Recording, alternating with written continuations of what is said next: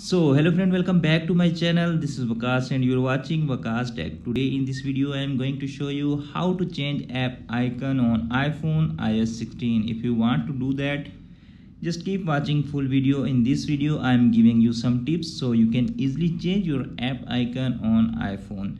So without wasting any time let's start the video. For this method you don't need any shortcut.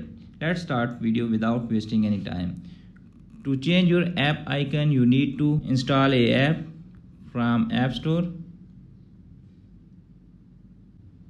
X space icon. Changer you can see a person screen. The second app i'm already installed that. Just tap on open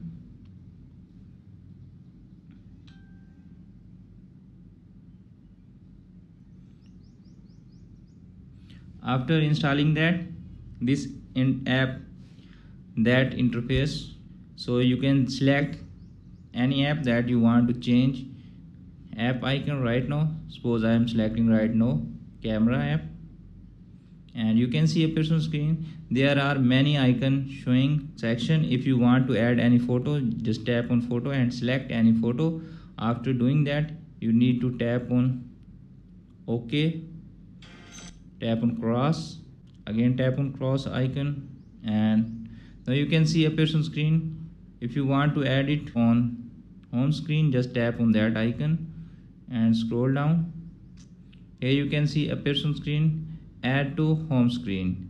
Just tap on that icon and tap on add.